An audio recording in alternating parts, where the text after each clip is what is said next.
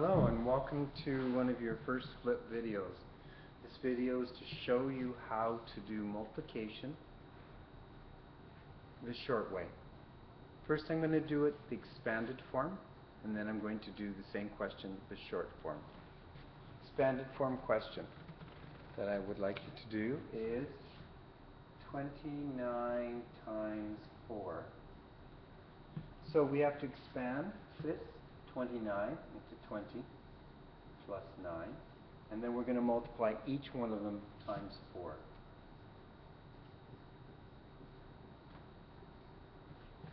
So 9 times 4 is 36. Cut and paste. 4 times 2 is 8. Now we have to add them back up together to get what the total is.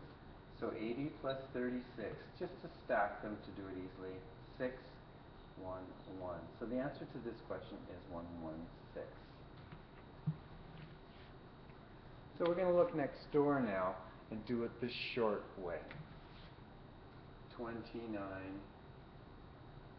29 times 4. The first thing we're going to do is we're going to multiply the ones by each other, which is the same as this.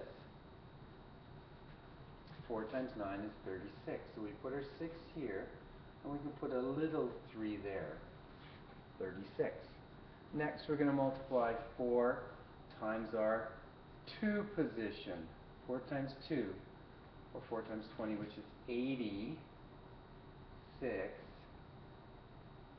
But we already have 3 there. So this turns into 116. So again, 4 times 9 is 36. You could put your 3 here. It's just a regrouping 3. And then 4 times 2 is 8, 9, 10, 11, 116. That's the short form. So your job is to do this next question. Uh, it's been given to you for homework to do short form, and that's 34 times 6. So 34 times 6 the short form this way if you can. Good luck.